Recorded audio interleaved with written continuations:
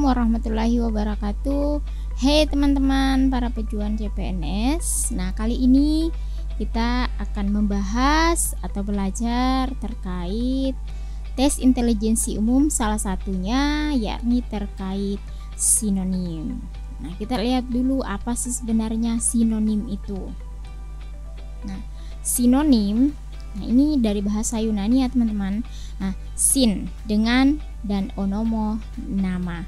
Nah, sinonim itu berarti suatu kata atau lebih yang memiliki arti atau pengertian yang sama. Secara sederhananya atau paling sering kita dengar, sinonim itu adalah persamaan atau padanan kata jadi jangan dibalik sinonim dan anto antonim. Tes sinonim, apa sih tujuannya? Mengapa di TIU kita biasa mendapatkan soal terkait sinonim. Nah, yang pertama, tes sinonim bertujuan untuk mengukur kemampuan dalam mengartikan suatu kata. Jadi, tes sinonim ini sesuai dengan namanya ya kita mengidentifikasi satu kata yang memiliki arti yang sama dengan kata yang lain. Kemudian yang kedua, tes sinonim ini bertujuan mengukur kecermatan terhadap suatu indikasi yang mirip atau sama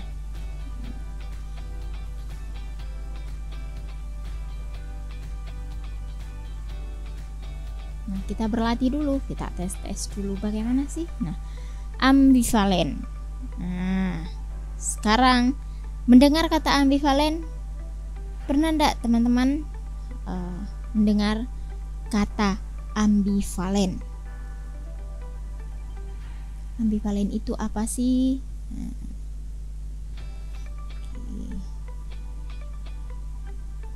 ambivalen ini begitu membaca atau muncul ketika kita tes kan ada pilihannya yang mana yang termasuk uh, sinonim dari ambivalen nah yang pertama otomatis kita harus tahu dulu ambivalen itu maknanya apa sih atau artinya apa sih ambivalen itu berarti bercabang dua yang saling bertentangan nah Pilihannya ada lirik lagu, ada hal yang mirip, ada bermakna dua, bercabang dua, gotong royong.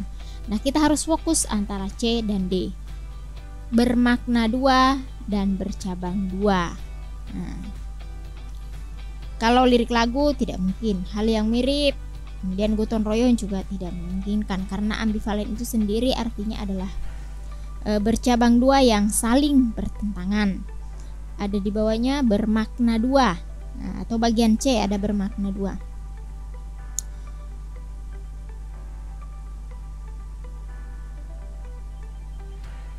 hmm.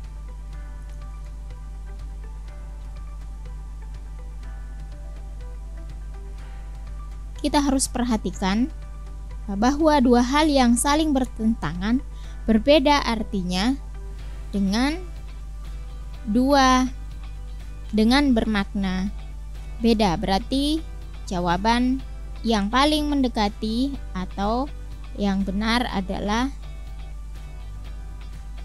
D, bercabang dua. Nah, kita ke soal atau latihan selanjutnya. Nah, pukat. Nah, ini pukat bukan sesuatu hal yang uh, asing di telinga kita, di mana kalau sering mendengarkan berita ataupun membaca dan lain sebagainya eh, kata pukat ini biasa kita e, dengarkan atau biasa kita baca.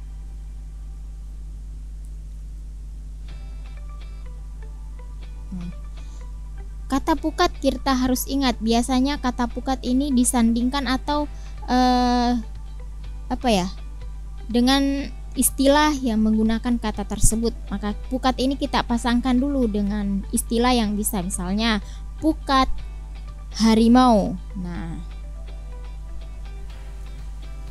pukat harimau itu merupakan e, alat untuk menangkap ikan dengan suatu jaring besar yang ditarik oleh dua kapal. Nah, perahu tidak mungkin. Nah, pukat harimau tadi pukat ini kita sandingkan dulu ketika bingung mau dia mirip dengan perahu, jaring, bom, kapal ataupun racun. Dari pilihan setelah kita sandingkan antara pukat menjadi pukat harimau, maka dengan mudah kita, identifikasi bahwa pukat itu sama maknanya dengan jaring. Kemudian yang ketiga kata lesak. Lesak itu apa sih? Nah, sesuatu yang terbenam atau ambles. Nah, kira-kira yang paling pas maknanya atau sama maknanya dengan sesuatu yang terbenam atau ambles. Nah, terlontar, tertelan, terangkat, terhenyak, tersingkir, terbenam atau amblas. Ini mirip atau sama dengan tertelan. Purba Wisesa. Apa sih itu Purba Wisesa? Nah, purba, ada purbanya. Nah, kemudian yang biasa Barangkali tidak asing di telinga kita adalah wisesa, tapi ada kata purba.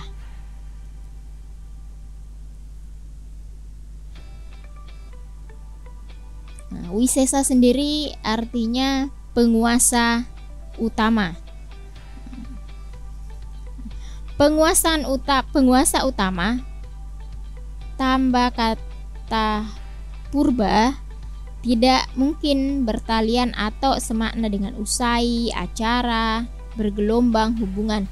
Purba Wisesa sendiri kan maknanya itu adalah penguasa utama, berarti memiliki makna yang sama dengan kekuasaan sepenuhnya.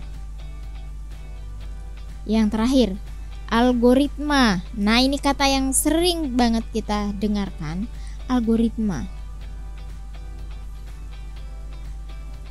Apa artinya algoritma? Prosedur yang sistematis.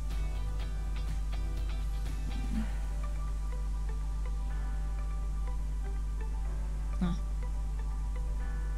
algoritma prosedur yang sistematis. Maka ketika melihat pilihannya kita sudah bisa pastikan bahwa jawabannya adalah prosedur pemecahan masalah karena algoritma sendiri bermakna e, prosedur yang sistematis berarti prosedur pemecahan yang paling mendekati. Nah, setelah kita melakukan latihan terkait sinonim, setidaknya kelima kata yang sudah tertera dapat kita ketahui atau pada hari ini maknanya atau sinonimnya sudah masuk atau sudah kita pahami.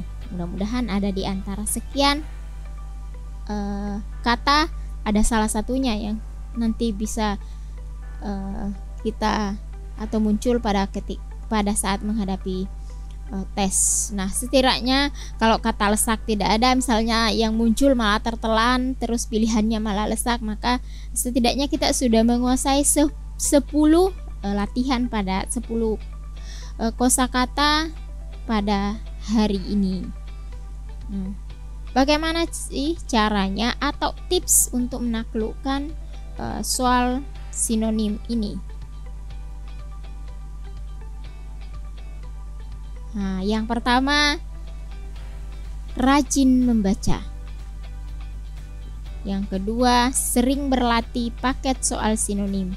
Karena dengan sering berlatih artinya perbendaharaan kata-kata atau perbendaharaan terkait sinonim itu uh, akan kembali meskipun dulunya pernah kita pahami atau kata itu sudah pernah kita dengarkan ketika kita baca maka otomatis akan tersave ke ingatan kita.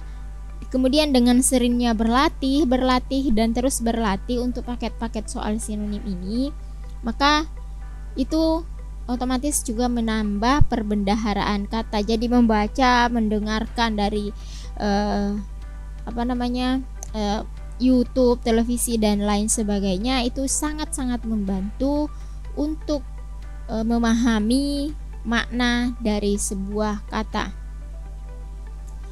Nah, kemudian tadi seperti pukat harimau. Nah, membuat kalimat dengan menggunakan kata yang dicari sinonimnya. Salah satu contohnya tadi misalnya pukat ada hanya ada pukat nelayan tersebut menggunakan pukat harimau untuk menangkap ikan. Nah, menggunakan pukat harimau. Jadi kata itu kita masukkan berarti kita maknanya berarti oh alat. Nah, sehingga memudahkan kita mengidentifikasi pilihan-pilihan yang kira-kira uh, memiliki makna yang sama dengan hal tersebut. Nah, jadi dibuat kalimat sekiranya kata itu uh, masih kita samar-samar maknanya, kita coba dulu dengan membuat atau memasukkan ke dalam sebuah kalimat. Barangkali dengan memasukkan ke dalam sebuah kalimat tersebut, uh, kita bisa memiliki e, mengetahui atau minimal ada mendekati makna karena keadaan sebuah kata mengikuti konteks kalimat. Nah, itu yang kita juga terapkan pada misalnya pilihan e, optionnya. Nah, itu sangat berguna tetapi lagi-lagi harus menjadi pertimbangan waktu setiap nomor. Jangan sampai waktunya uh, terlewat hanya buat kalimat sampai 2 menit satu soal maka soal yang lain akan terbengkalai jadi harus cepat dan tepat nah rajin membaca dan sering latihan mengerjakan soal padanan kata salah satu kunci sukses untuk menaklukkan soal-soal sinonim pada tes intelijensi umum Terima kasih sudah menonton video ini dan sampai jumpa pada pertemuan selanjutnya. Untuk latihan terkait soal tes sinonim, silahkan klik link yang tersedia pada deskripsi video ini. Terima kasih. Wassalamualaikum warahmatullahi wabarakatuh.